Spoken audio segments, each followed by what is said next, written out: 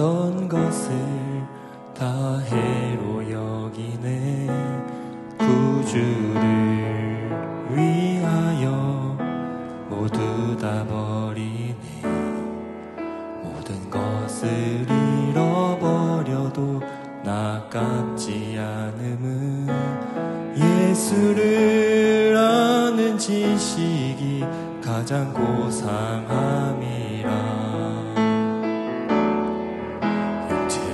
신뢰하지 않고 겸손한 마음으로 부활의 능력과 고난에 참여하며 그의 죽으심을 본받아 그리스도를 얻고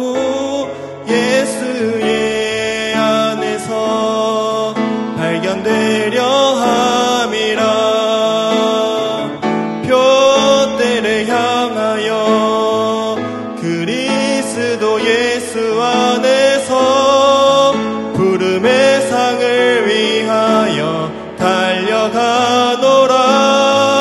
이전에 있는 것은 모두 잊어버리고 앞에 계신 그리스도께로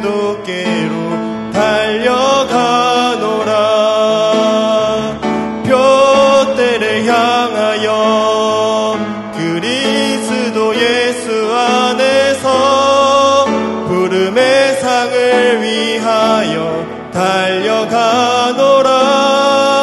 이전에 있는 것은 모두 잊어버리고 앞에 계신 그리스도께로 달려가노라